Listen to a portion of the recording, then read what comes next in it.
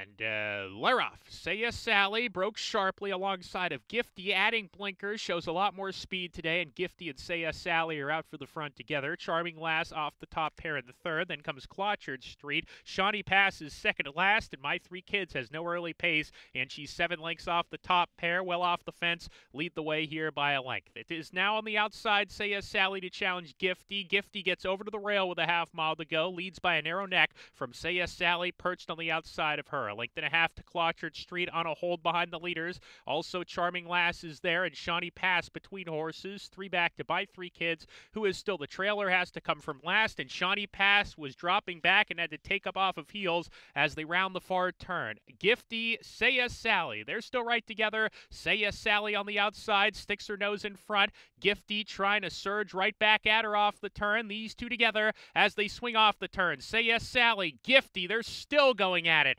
Clotchard Street is third, trying to run down the top pair, and My Three Kids is coming up the fence. It's Say Yes Sally with the lead. My Three Kids from the back of the field is charging hard, and My Three Kids on the inside after Say Yes Sally. Say Yes Sally, tenacious. Say Yes Sally. She turned away My Three Kids in the final 100 yards. Clotchard Street, third best. Gifty weak into fourth.